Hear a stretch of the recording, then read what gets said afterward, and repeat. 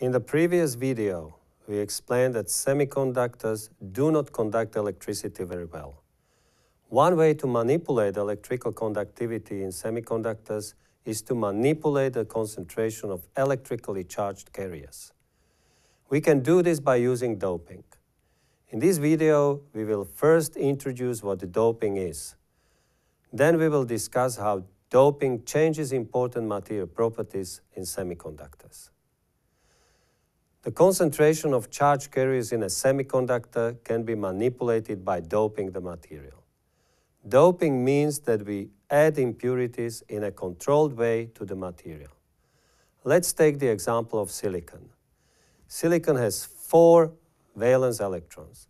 In a silicon lattice, each atom is bonded covalently to four other silicon atoms. We can take that silicon lattice and substitute a small amount of silicon atoms with different atoms. This is commonly done with atoms of two different elements, boron and phosphorus. Boron atoms has three valence electrons, while phosphorus atom has five valence electrons. When boron is used as a dopant, the resulting material is called p-type. When phosphorus is used, we call that material n-type.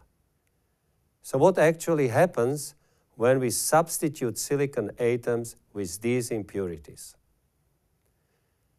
Here you can see a schematic representation of the bonding between silicon and boron atoms. Boron atom is in the middle of this diagram, bonded to four silicon atoms.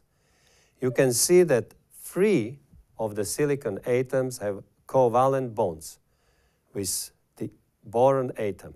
However, one of the silicon atoms has a funny looking bond with the boron atom. This is because boron atom shares only one valence electron. This bond is missing one electron. This missing electron is denoted as a hole. On the right side of this slide, you can see the situation with a phosphorus atom. Four valence electrons of the phosphorus atom form four covalent bonds with neighboring silicon atoms. Because phosphorus atom has five valence electrons, there is an extra electron floating around and not being involved in a bond.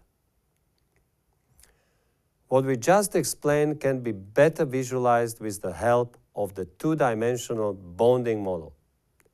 Let's start comparing intrinsic and doped semiconductors at zero Kelvin. We can see that in the lattice of an n-type semiconductor, there are extra electrons carried by phosphorus atoms.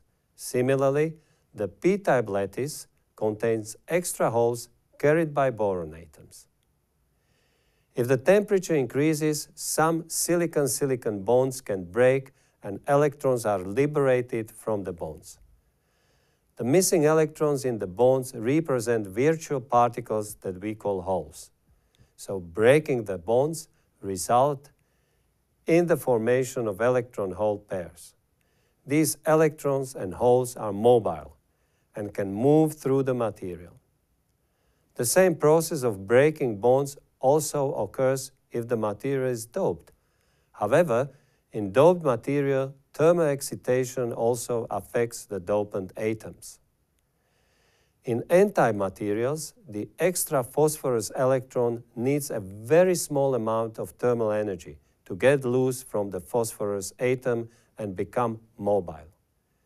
Hence we say that the phosphorus atom donates a free mobile electron into the silicon lattice. For this reason, phosphorus is also called to be a donor. If this mobile electron leaves the phosphorus atom, the phosphorus atom becomes positively charged. This is because it has more protons than electrons now. In p-type materials, electrons can be readily accepted by boron atoms to fill the holes and complete the covalent bond with silicon atom. We call dopants like boron acceptors. The boron atom becomes negatively charged, since it now has accepted an extra electron. We say that boron atoms are negatively ionized. Ionization of dopant atoms can affect locally the charge neutrality of the lattice itself. This happens when mobile carriers deplete the region with fixed ionized dopant atoms. As a consequence, the lattice will become locally positively charged in the n-type, while in the p-type it will become negatively charged. Nevertheless, the charge neutrality of the whole material is still maintained. In the previous videos, we stressed out the relationship between electrons' energy and material's composition and structure. Moreover, we also introduced the Fermi level and showed that its position depends on the effective density of states in the conduction and valence bands. We can therefore expect that when inserting donor and acceptor atoms, these properties will be affected. Let's see how.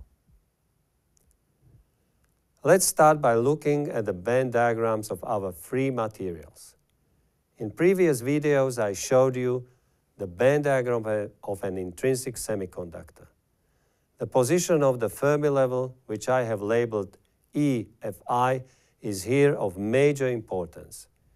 EFI stands for the Fermi level of an intrinsic semiconductor.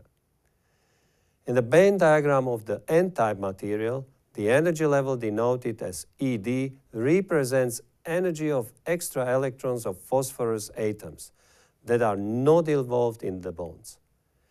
The energy level of this weakly bonded electron lies close to the conduction band.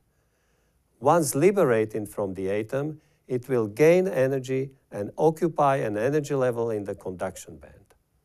Since by doping we increase number of electrons with energies in the conduction band, the average energy of electrons will increase.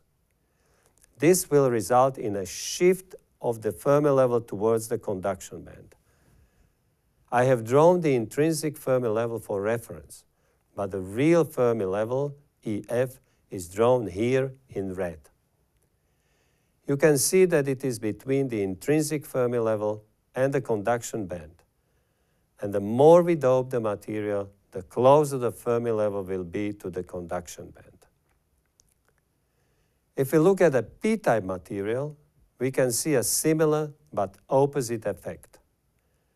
Now we have an energy level denoted as EA, which is occupied by electrons that are accepted to form covalent bonds.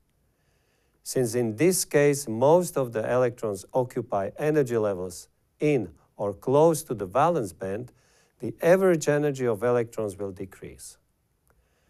The Fermi level is shifted towards the valence band. Again, the higher the doping with acceptor atoms, the closer the Fermi level will be to the valence band. Before we move forward with some calculations to determine the concentration of mobile charge carriers, it is important to understand some important terminology. In semiconductors, we often distinguish between majority and minority charge carriers. As you already understand, we deal with two types of charge carriers in semiconductors, negatively charged electrons and positively charged holes. In an intrinsic semiconductor, we have the same number of electrons and holes. However, with doping, we manipulate the concentration of only one type of the charge carriers. We call the carriers whose concentration is much larger than that of the other type majority carriers. These are holes in p-type materials and electrons in n-type materials. Minority charge carriers are the carriers with much lower concentration than the majority carriers. These are electrons in p-type materials and holes in n-type materials. The dopant concentration can be selectively chosen according to the application. For crystalline silicon, we may have three levels of doping, low, moderate, and heavy, whose ranges can be seen in this picture. For illustration, when we take a moderate doping of 10 to power of 16 dopant atoms per cubic centimeter, this means that we have substituted just one silicon atom out of 1 million silicon atoms. For solar cell applications, we generally use layers with moderate to high dopant concentrations. In this video, we looked at how doping affects some of the semiconductor properties qualitatively. In the next video, we will learn how to calculate the carrier concentrations and the position of Fermi levels of semiconductors depending on their doping concentration.